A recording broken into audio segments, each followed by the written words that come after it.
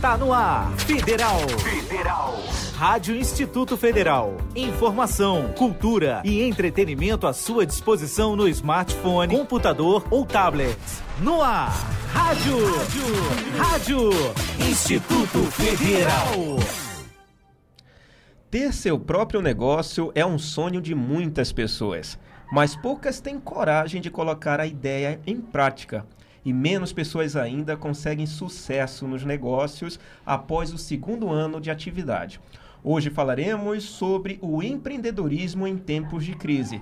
Quer ficar por dentro sobre as principais dicas para os negócios, o empreendedorismo e o sucesso no mercado? Não saia daí, o nosso papo já vai começar.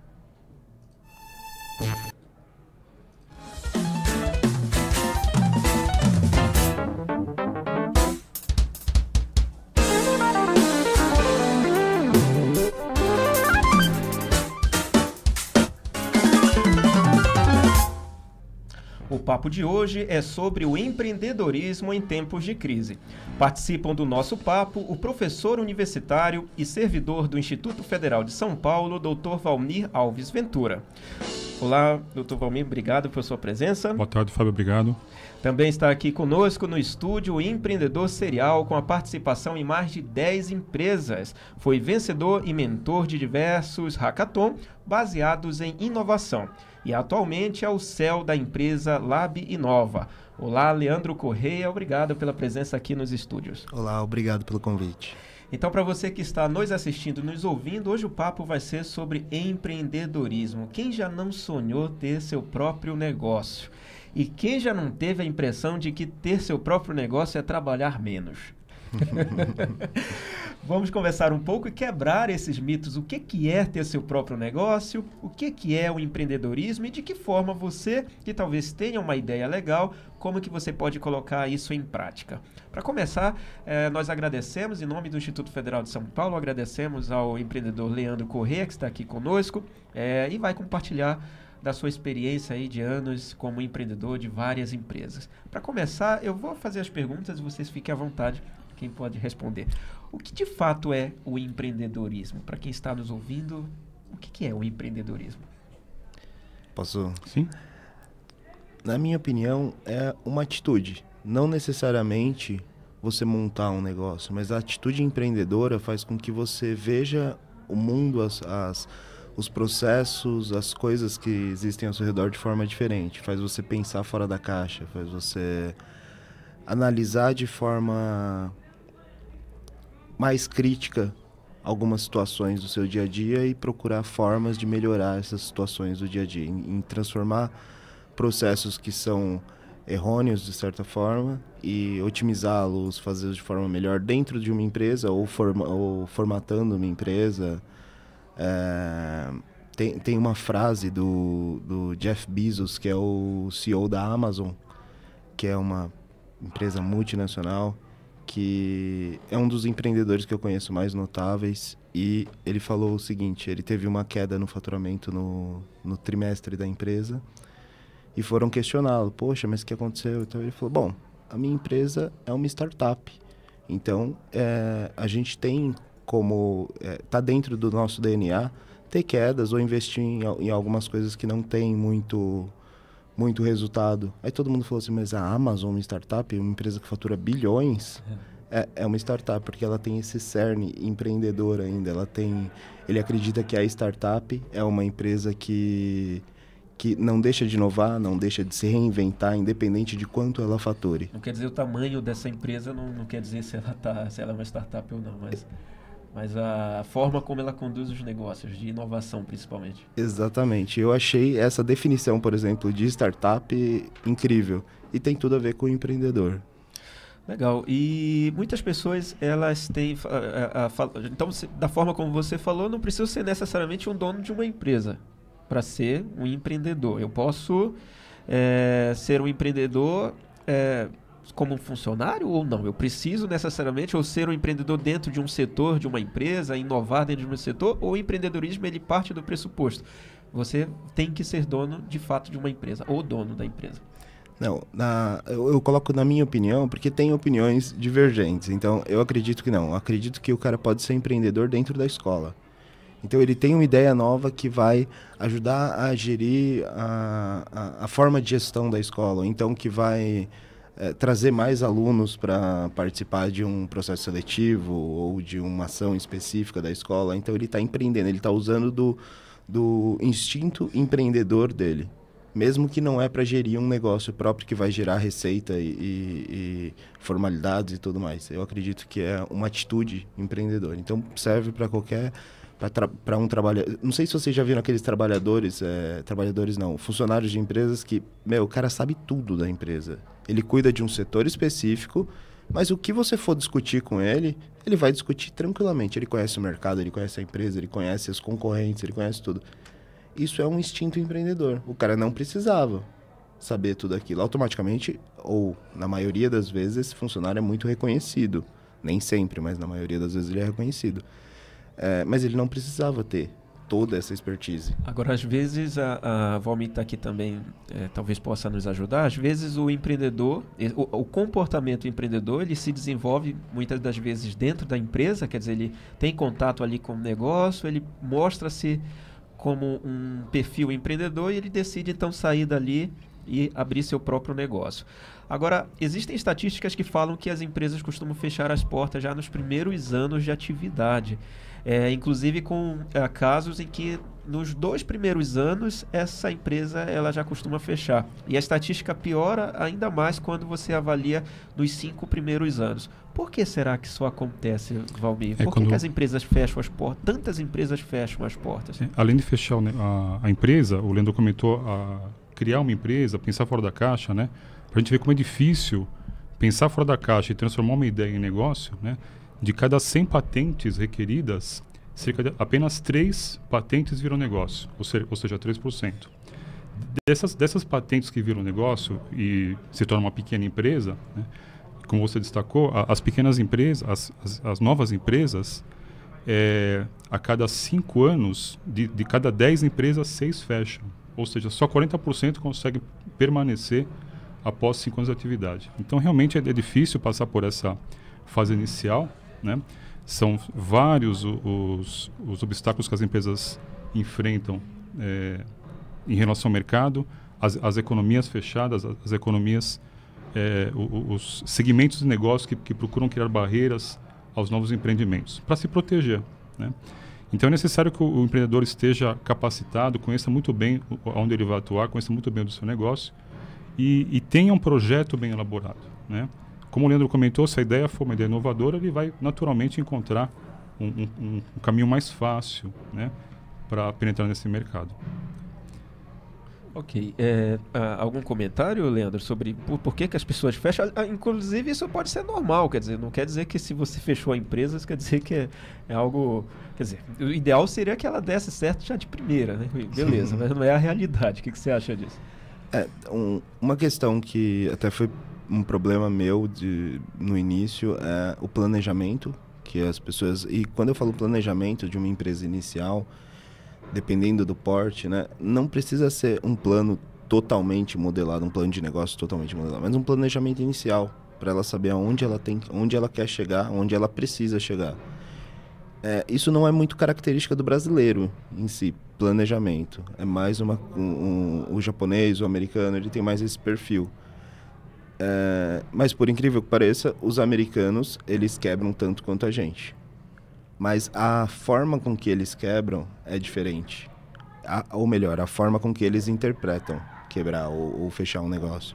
Eles entendem cada negócio que eles fecharam, eles aprenderam alguma coisa que eles não vão implantar no próximo negócio.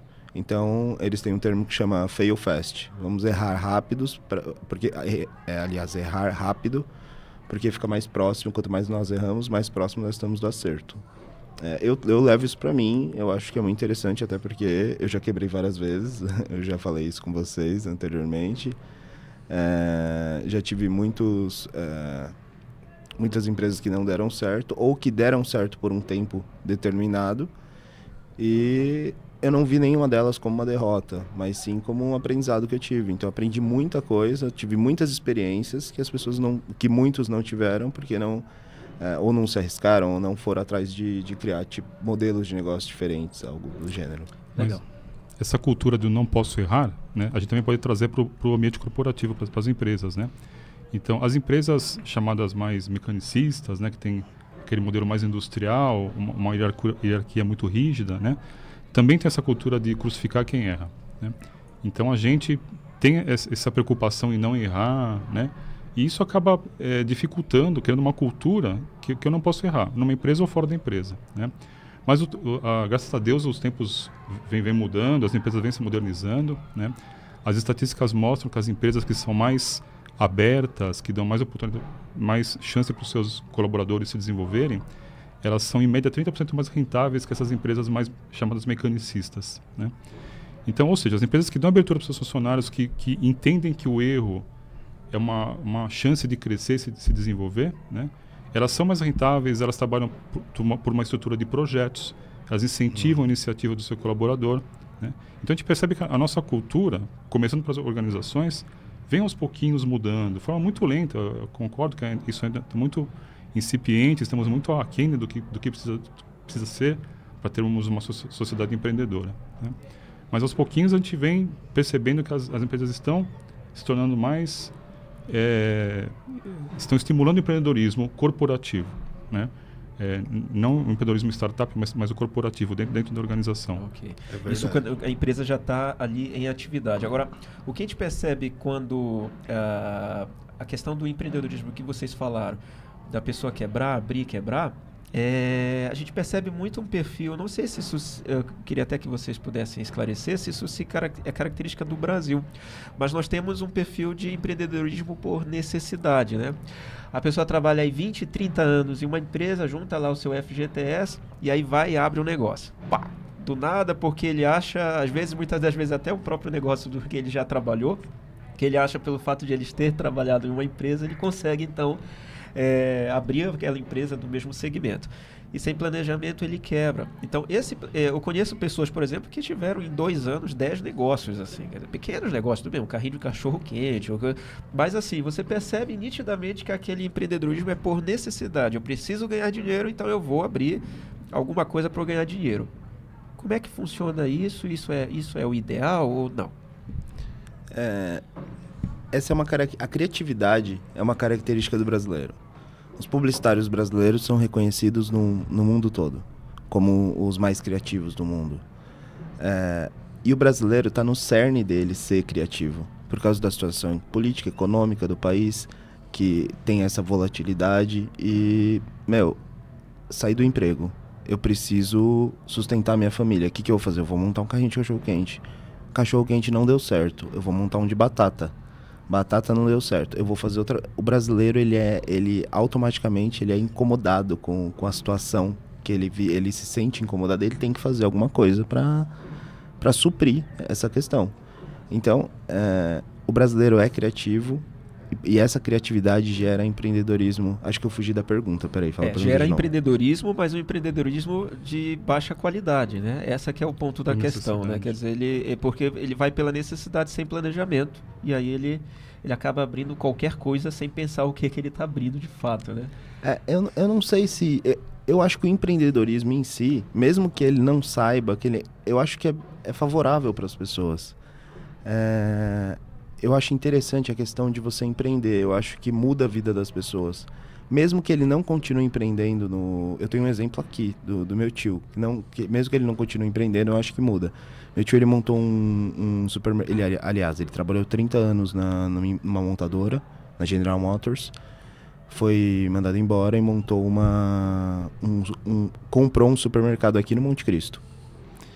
E tá funcionando, tá legal, tudo mais. Ele trabalhou muitos anos como funcionário, então eu instruí ele que talvez não, ele não fosse o perfil empreendedor e tudo mais, apesar de eu, de eu incentivar um empreendedorismo, é que eu conheço meu tio, então uhum. eu sei que ele não tem muito esse perfil.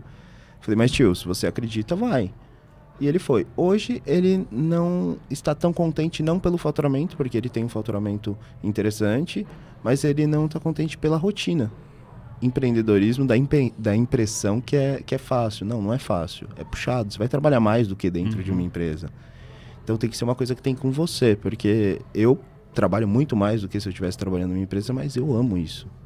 Ele já não, não é o perfil dele muito trabalhar dessa forma. Só que ele, ele tá vendendo no mercado, só que ele aprendeu muita coisa dentro desse período que ele empreendeu. Muitas coisas que talvez ele nunca aprendesse. Que ele está utilizando na vida dele, na casa dele. Então, é, acho que sempre tem uma vantagem empreender. E nessa questão de ganhar mais, ganhar menos, né? Normalmente o, o, o começo do, do, empreendedor é um começo difícil, como nós comentamos, né? Aqueles cinco primeiros anos é de descoberta, é de adequação do produto ao mercado, né?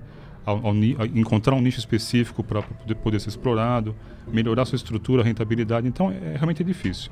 Mas, normalmente, a, as pesquisas mostram isso, né? Após 8, 10 anos que o, o empreendedor está estabilizado, ele consegue ter um tempo, um tempo para se dedicar mais à família e ele co consegue ter uma qualidade de vida melhor do que aquela pessoa que foi é, optou pela carreira de, de funcionário, né? Então pode ser que no funcionário no início, da, da, comparando o empreendedor no início da carreira, ele tem alguma vantagem em qualidade de vida, e até em rentabilidade talvez, em, em receita, né? Mas ao longo do, dos anos, né, a, a, tendência é que o empreendedor tenha uma vantagem sobre a carreira de funcionário. Então, no início é um momento mais crítico e depois isso pode melhorar. Ou não, Sim. a tendência é que piore sempre com mais trabalho, né? Não, eu acho que é uma seleção natural, né? Uhum. Essa, essa, esses cinco primeiros anos é uma fase de provação empreendedor, que, como o Leandro comentou, vai capacitando o empreendedor, né? À medida que ele vai passando por certos obstáculos, ele vai aprendendo com esses obstáculos e vai se capacitando a, a poder ampliar seu negócio. Agora, Valmir, um dos primeiros obstáculos que ele enfrenta, além, claro, de ter uma boa ideia, tal, tal, tal, é a questão da burocracia, principalmente aqui no país. O Brasil é um dos países mais burocráticos para abrir empresas, né? Isso pode, e comparado com alguns países que você abre empresa em dois, três, quatro dias, você demora, dependendo do negócio aqui, você tem que ir em tantos órgãos, tantos lugares, que passa até meses para você conseguir ter o seu negócio formalizado. Isso pode atrapalhar no, no, no desenvolvimento das ideias aqui? Sim, Ou não? Sim. Quando a gente fala, eh, nós temos várias políticas aí voltadas para facilitar o empreendedorismo, né? E o nosso país evoluiu bastante nesse ponto. Mas a gente evoluiu apenas naqueles negócios que são mais simples. Então, vou montar um comércio, vou montar uma loja, um, um, um serviço, né? Então, é mais fácil você abrir uma empresa, não tem tanta, tanta burocracia. Agora, se você vai trabalhar em algum setor que é mais é, regulado, por exemplo, com, com fármacos, né? O, o, Instituto Federal, inclusive, aqui tem um curso de Química, né? Se algum dos nossos alunos quiser montar uma, alguma empresa voltada para trabalhar com Química, né? Ele vai ter que responder aí... É, a, a 10, 12 órgãos né, mensalmente, até o exército, de, dependendo do, do, do, do, que ele trabalha. Ele tem que responder ao exército é, e, e, por aí vai. Então a burocracia é muito grande realmente. Né? Falta uma simplificação desse, dessas agências reguladoras para que facilitem né, a, a, a ampliação da indústria nacional. Né? É, eu, eu, tenho um, um, um, exemplo de uma empresa que ele, um, ele trabalhou muitos anos, um empresário com, com na, na, indústria farmacêutica. Né? E ele montou a indústria dele, pra, ele, ele é incubado também, está numa incubadora também hoje, né? E ele montou a indústria dele querendo explorar esse nicho de mercado, porque ele percebeu que todos os produtos são importados, né? Da Suíça, da Europa, né? Então, é, ele montou isso aqui no Brasil. Quando ele, quando ele foi, começar a conhecer isso, ele, ele trabalhava há 30 anos na indústria farmacêutica, mas ele não tinha conhecimento da enormidade de é, órgãos que ele tinha que se é, é, regulamentar. regulamentar né? E quando ele me falou que ele respondia até para o exército, né? eu falei assim, nossa, mas é, né? é, é, um absurdo, né? Mas ele, a empresa dele é, já, já está há 10 anos no mercado, ele conseguiu é, por conta de muita insistência, né? E identificar um nicho que não havia produto no, no, Brasil. Então ele produz fármacos de alto valor agregado, né? que ficaria muito caro e, e, muito é muito burocrático trazer isso de fora. Então mesmo toda a burocracia nacional ainda compensa fabricar isso no Brasil. Agora ele, ele fala isso para mim, Valmir, se é, não tivesse, tivesse toda essa burocracia, eu podia estar exportando isso aqui faz tempo, né? Pra você ter uma ideia, quando ele montou o plano de negócios dele, ele imaginava ter retorno de investimento em um ano, devido ao alto valor do produto. Ele foi conseguir isso depois de cinco anos, porque ele só conseguiu regulamentar o negócio dele após dois anos. Né? Então, realmente faltam investimentos para é, agilizar né, todos Sem esses perder órgãos. o controle, né? Quer dizer, o Exatamente. controle ele deve existir, até principalmente setores que necessitam desse, dessa Sim, fiscalização sim. de controle. Sim. Mas achar um ponto de equilíbrio aí para você não atrasar a É. vida dos empreendedores e do desenvolvimento econômico. Agora, eh, mudando um pouco de assunto, eh, saindo aí da questão da burocracia e entrando mais para a questão operacional mesmo. Você está ali dentro da sua empresa, você é o tomador de decisões. Um dos principais fundamentos da administração é a tomada de decisões. O que, que eu vou fazer? Eu tenho os recursos disponíveis, sejam financeiros, materiais, humanos, e eu preciso alocar como se fosse ali um, né, um tabuleiro de xadrez e qualquer movimento que eu fizer eu posso me dar muito bem ou me dar muito mal. Como que o empreendedor, especialmente aquele que está começando, ele consegue saber o que fazer, como decidir, onde investir, joga o dinheiro para as pessoas, para equipamentos, para marketing. Como é que ele faz essa distribuição, sabendo que os recursos provavelmente são muito limitados? No Brasil, acho que não só no Brasil, mas principalmente, a parte de jogar o dinheiro não é um problema porque não tem grana, geralmente no início. Não tem Então, esse problema. Esse problema eles estão livres. É, e geralmente as empresas, eu trabalho muito com startups e com microempresas ligadas a que tem a base tecnológica. Como eles, eles começam? Começa um, um- um cara que é programador, um cara que é muito bom em negócios ou que tem a ideia do negócio e um outro que é vendas. Então, assim, o custo das empresas com base em tecnologia é basicamente o custo de tempo. Porque um, um vai desenvolver o projeto, o outro vai é, idealizar e formatar o modelo de negócio, o outro vai vender. É, com, com esse trio, as empresas startups costumam funcionar muito bem. Né? No quarto, na garagem, no, no- na casa do vizinho. é, muito, mu- algumas entram numa incubadora ou algo do gênero. É, mas essas empresas têm um potencial de crescimento muito grande. E, e não sofrem muito, muito problema com distribuição de, de, de, de como vai fazer ou como vai, vai acontecer. Um- alguns outros modelos de negócio físicos já, já têm outra, outra modelagem, já são bem diferentes. Mas eu acredito que o empreendedor, ele tem que ele vai errar, não tem como, não tem como você acertar em tudo. Então, é, baseado na minha experiência, eu segui a minha intuição, falei, meu, acho que aqui vai dar certo. Algumas vezes dava, algumas vezes não. E como eu disse anteriormente, não deu certo, meu, aprende com isso e continua. Se for desistir, meu, você não, você não tem veio empreendedor. Porque você vai tomar porrada, o pessoal vai falar mal do seu negócio, não vai ser fácil, mas é compensador. Ok, Valmir, quer fazer algum comentário sobre isso? Não, eu estava lembrando um- de uma declaração do presidente da, da Toyota quando teve a, a, a quebra de 2008, né? É incrível a história É. dele. E eu não me lembro agora se são 70 milhões ou 70, acho que são 70 milhões que o, o, prejuízo, prejuízo que a Toyota apurou naquele ano, né?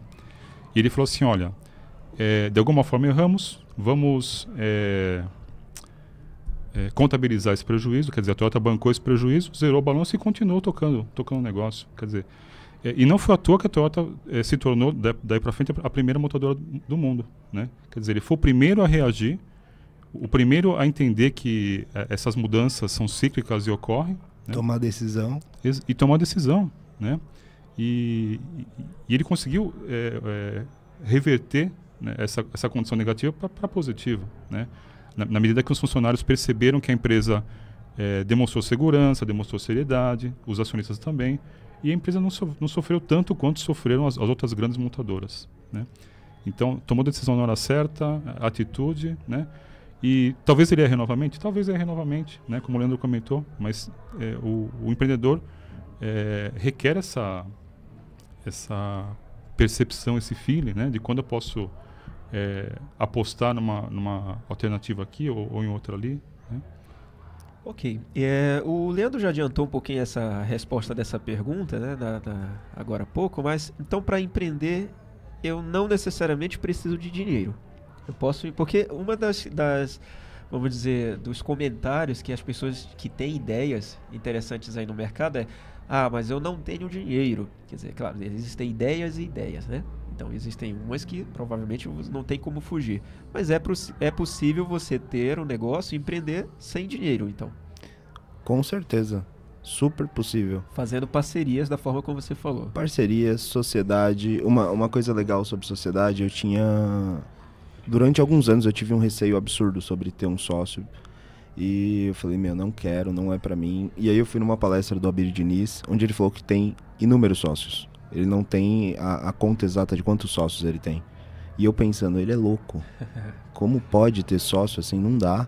Mesmo sendo quem ele é, não, não tem como ter. E ele falou uma coisa muito simples e, e, e que eu levei para minha vida. Que é o seguinte: discuta tudo o que você quer, brigue, é, se tiver que, que, que discutir, discute antes da sociedade for, na formatação dessa sociedade. Discuta o começo, o meio e, e o fim. Como ela vai acabar, qual é a participação de cada um, tudo. Imagine todas as situações possíveis, discuta, formalize num papel e pronto. Você não vai ter problema com esse sócio. E eu vi que esse era o meu problema. Eu não tinha essa discussão no início. Eu tinha ideia, eu era impulsivo e falava: Meu, vou montar, vamos montar comigo? Vamos, então beleza, então vamos. Não tinha muitas definições, percentuais, não. Aí começava a entrar a parte financeira e começava a dar problema. Uhum. Então, assim, é, eu acho, eu acredito, eu montei negócio sem dinheiro, eu acredito que é super é, válido você ter uma ideia, apresentar para pessoas. Tem gente que tem medo de mostrar a ideia, fala, não, mas Vou a minha ideia, ideia. mas a sua ideia sem sem estar tá no mercado não vale nada. vale nada. Ela tem que estar tá no mercado, tem que estar tá faturando, tem que tem que gerar alguma coisa. Então você que você ganhe 20, 30, 40, 50% da sua ideia mas que ela gere esse 50% para você.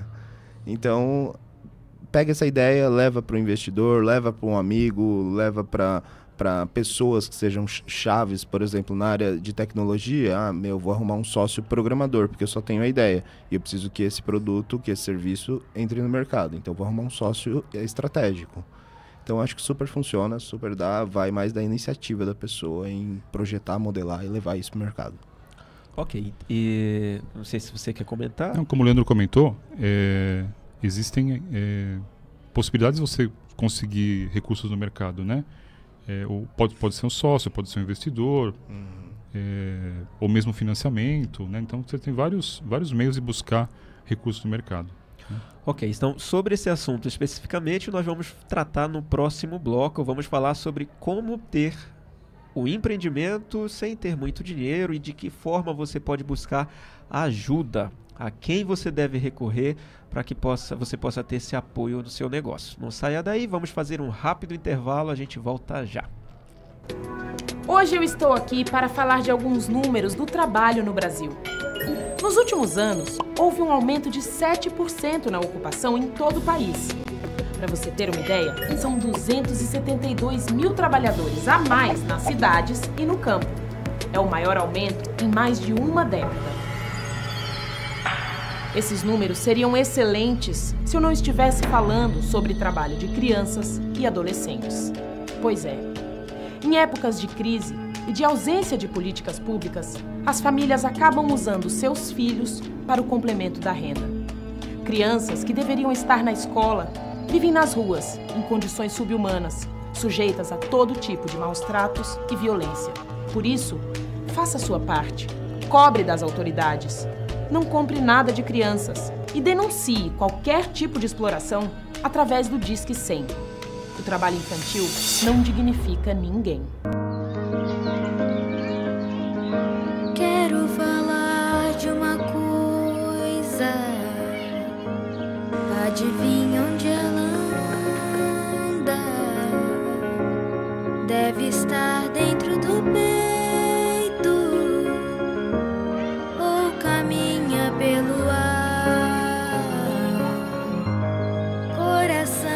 Coração de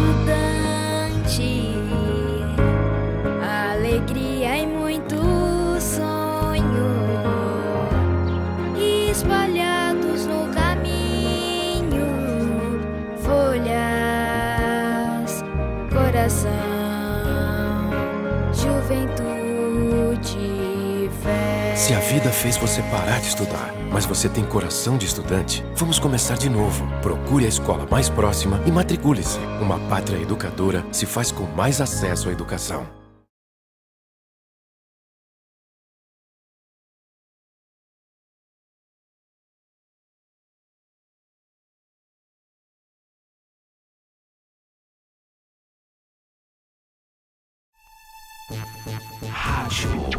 Rádio Instituto Federal.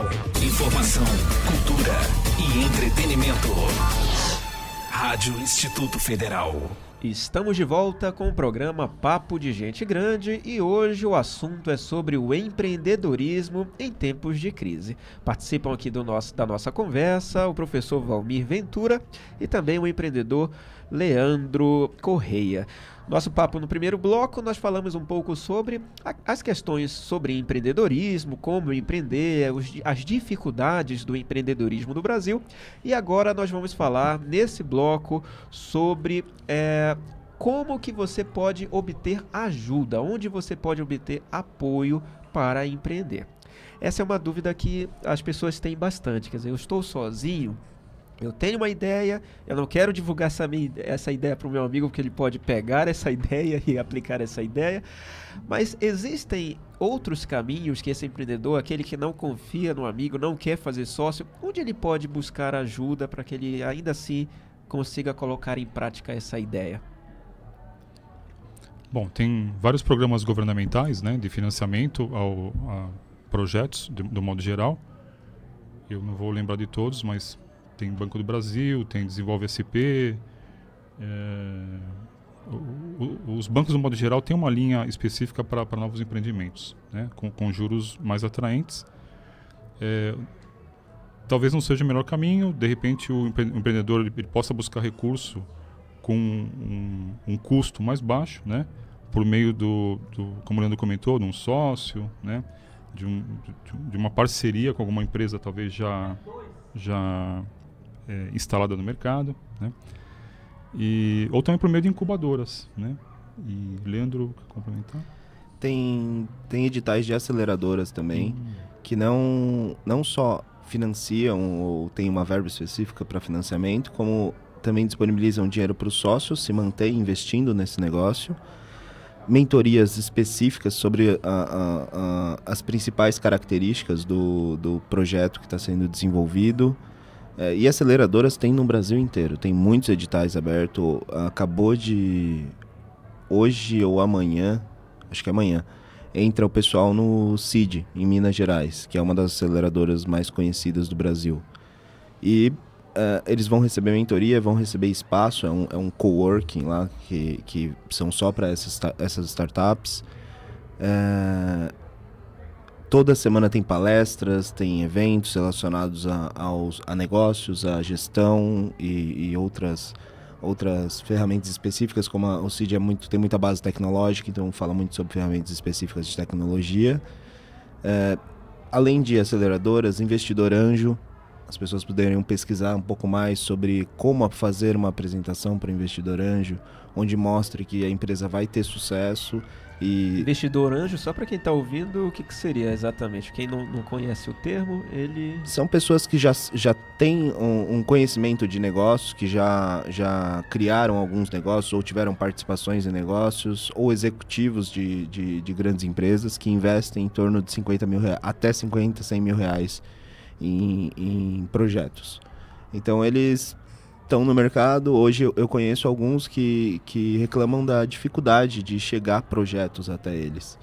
Então eles ou o projeto chega de forma muito imatura ainda, sem dados reais, dados. E quando eu falo dados reais, não é contar a história que a pessoa saiu da universidade, não é, não é contar a história dela, mas mostrar que aquele negócio vai dar sucesso, porque o mercado é favorável, porque é, o futuro daquele, daquele, daquele segmento de negócio é X ou é Y, então ele sabe para onde o mercado está indo e ele está dando uma solução específica que vai atender um público específico no mercado futuro, talvez. Que ele teve essa visão onde as outras pessoas não tiveram. É esse perfil que o investidor anjo procura. E, e como é que ele tem acesso a isso? Ele, esses editais são públicos ou ele vai atrás desse investidor? Por exemplo, ele tem um projeto legal e ele vai como que ele acha? Por exemplo, o senhor que está lá, tem um dinheirinho, ou tem um projeto, perdão, tem um projeto, uma ideia legal, mas ele não tem nenhum conhecimento de qual passo que ele dá, né? Por exemplo, às vezes a gente já tem aqui pessoas que já, já têm mais experiência, por onde que eu vou, os editais. Então ele vai onde exatamente? Talvez um, um caminho mais rápido, na cidade dele mesmo, como a nossa audiência é, tem outros estados. É, isso envolve todos os estados? A gente tem investidores assim? É, o, o, caminho mais rápido é o Google.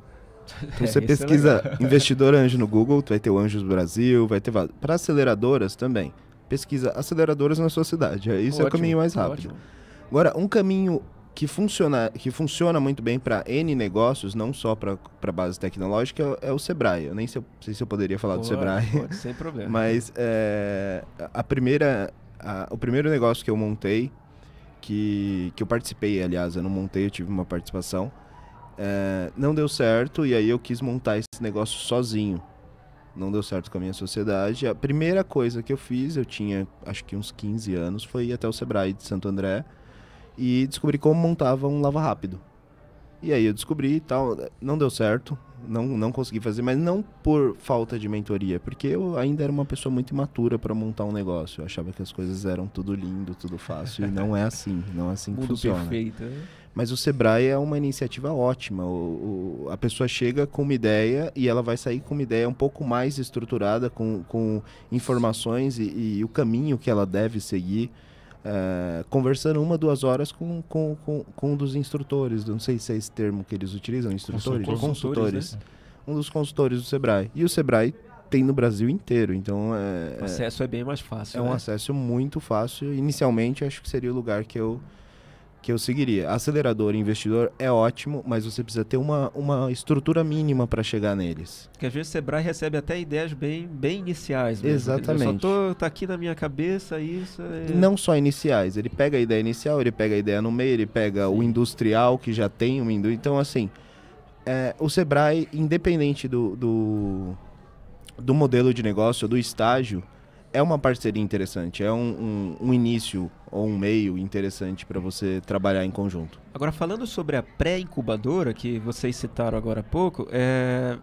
partindo sempre do pressuposto que o ouvinte não sabe do que, que se trata isso aí. O que, que é uma pré-incubadora, como é que ela funciona e de que forma isso pode ajudar? É é algo muito semelhante ao Sebrae ou tem algumas características diferentes? É? É, a incubadora, como o próprio nome já, já indica, né, ela vai incubar uma empresa. Né? O que, que é isso?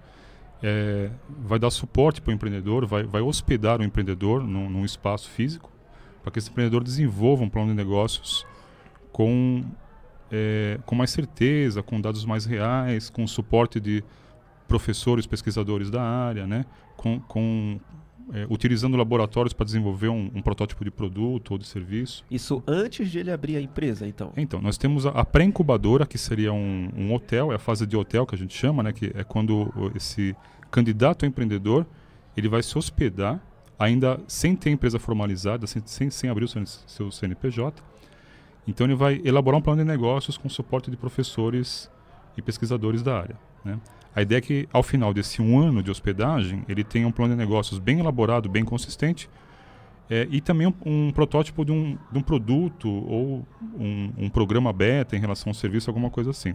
Mas como lembra, o Leandro, lembrando que o Leandro comentou, mesmo tendo esse plano já formatado, bonitinho, na prática a coisa muda um pouquinho. Então pode ser que é, se- sejam necessárias adequações a esse projeto. Né?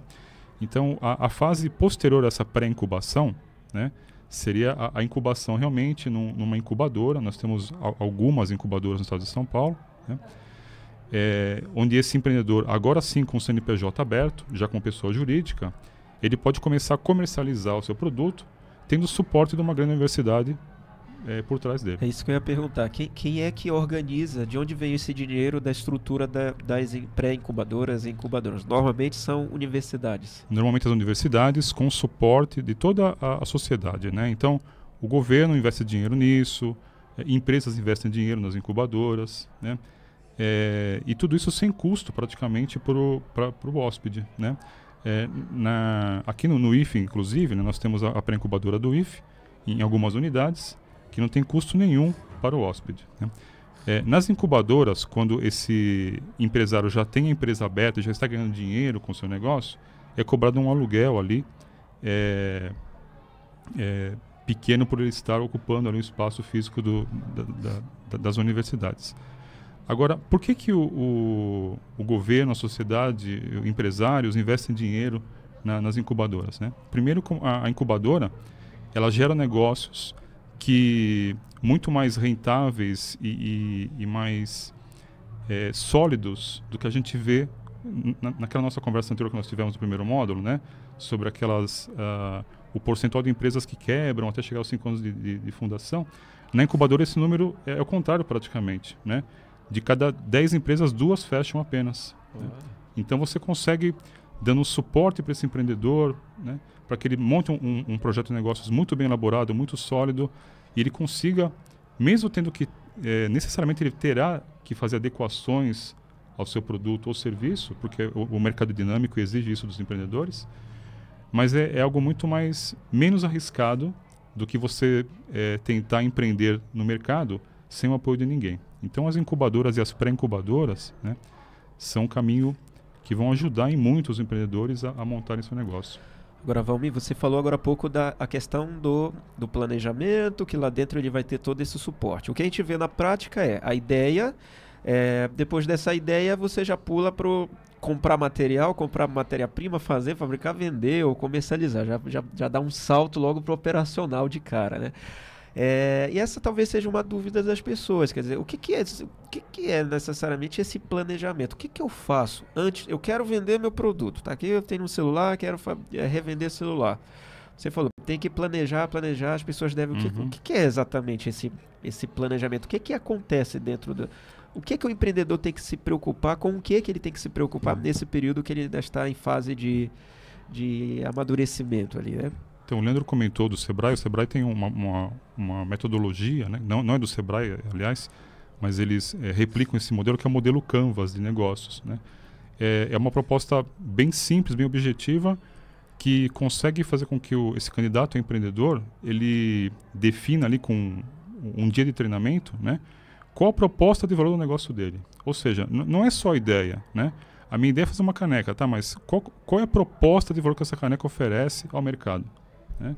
Então, se eu consigo mostrar algum diferencial no meu produto ou serviço, né, é, eu vou conseguir mais atenção de empresários, de investidores anjo, eu vou conseguir espaço numa incubadora, né, desde que eu mostre que a minha proposta de valor é significativa. Né. Essa proposta de valor é que a viabilidade de dar certo. Vai, Exatamente. Vai, é, é, agora, e se ele não quiser participar é, por todo esse processo, ter um investidor, ele já tem um dinheiro, é, como que ele pode saber aumentar a probabilidade de que o negócio dele vai dar certo? Digamos uma empresa ali de bairro, ele está ali quer abrir um, um mercado pequeno ou então um restaurante pequeno. Como que ele pode minimizar a probabilidade de falha dele? Eu voltaria no Canvas porque o Canvas não é uma metodologia super cheia de, de parâmetros, métodos. Não, é uma coisa, é uma folha de papel. É uma folha onde você define. Oh, em, depois que você aprendeu o processo, em 30 minutos você faz um Canvas. E você consegue ver as probabilidades que seu negócio tem de, de, de destaque de mercado, de a proposta de valor, que é exatamente o que seu negócio está oferecendo. Então você está vendendo um, vou falar de aplicativo que é o meu mercado, um aplicativo onde você não pega filas. Mas você não está vendendo um aplicativo que não pega filas, você está vendendo tempo. Essa é a proposta de valor. E tempo é muito valioso. Então você consegue entender exatamente o que você vende, como você vende. O Canvas, se você pesquisar na internet, você vai achar um modelo. É, eu sugiro que a pessoa vá até o Sebrae, que é um processo muito, muito rápido e prático. Mas se você achar na internet, você acha um business model canvas e preenche e você vai entender muito bem seu negócio de forma muito simples, prática. É...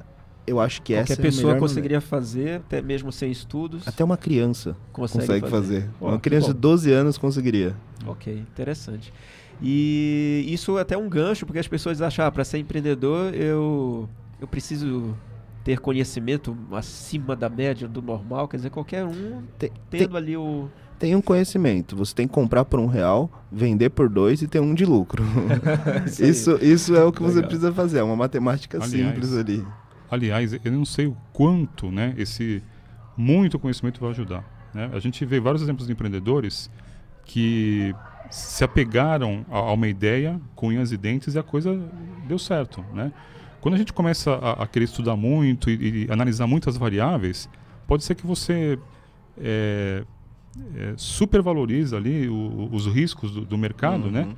e acaba subestimando a sua ideia. né? Ok, nosso tempo é muito curto, infelizmente dá vontade de conversar mais, mais, mais. Só para finalizar, em uma palavra, qual é a, a dica, a sugestão que você daria para quem está querendo empreender? Uma palavra ou uma frase? O que, que você indica aí para os nossos futuros empreendedores? Bota a mão na massa. Essa é, meu, não espera. é, planeja, planeja, mas planeja fazendo. Então faça. Não, não, não fica. Ah, mas se for desse jeito, mas o mercado dá crise. Esquece crise, porque a crise está na sua cabeça. Rapidamente. Rapidamente. É, eu reforço as palavras, do Leandro, né? Se a gente não tentar, não vivenciar, a gente não vai saber, né? Ok. Isso aí, então nós chegamos ao fim da nossa entrevista. Você que nos acompanhou aí pela internet mui- ou pelo aplicativo Android, muito obrigado pela sua audiência. Professor Valmir, obrigado pela sua presença. Leandro, muito obrigado pelo papo excelente. Espero que isso tenha clareado bastante aí as ideias dos novos empreendedores aí.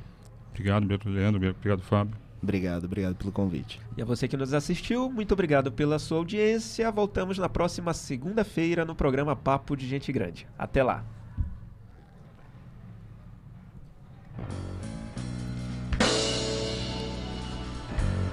Muito bom. Dá pra ficar falando o dia inteiro, né?